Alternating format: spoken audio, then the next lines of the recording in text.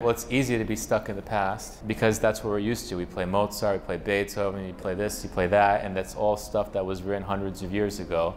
So I feel like that's taken for granted. But those people, when they were alive, they were writing that music in a momentary time. But now we think of it as like, oh, that's already done. That always always existed. It's like the Bible. It's always been there. Oh, nobody wrote that. So if you think that way as a composer today, you're in trouble because you got to be not maybe predator is too strong of a word, but I like the basketball player thing because they train. There's work that they do in the gym that you don't see, but then when they're on the basketball court, they're shooting three pointers and doing all this stuff.